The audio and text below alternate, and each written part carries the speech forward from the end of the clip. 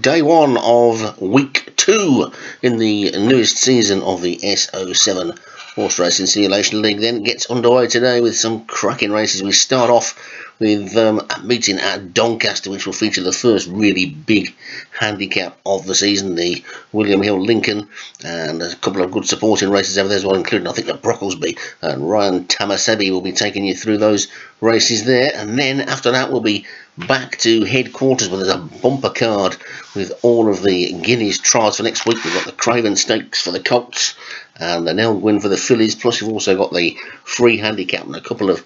other big three-year-old races as well. A ten thousand pound sprint and also a 10 furlong race which might just give you some clues to maybe some French Derby or maybe even some Derby horses